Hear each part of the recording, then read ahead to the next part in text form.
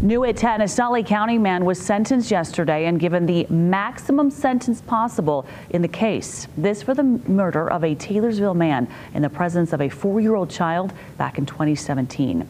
42-year-old Sean Eugene Fleming sentenced to 15 years to life for shooting and killing Toussaint TJ Louverture Jr. over a money dispute. Court documents say Fleming and two others worked together to force their way into Tyler's home.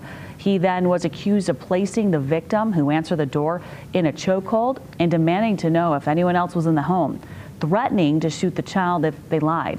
Authorities saying he then tied up three people found in the home with duct tape, including the first victim, and attempted to force Tyler to open a safe in the master bedroom, which led to Fleming shooting him in the head.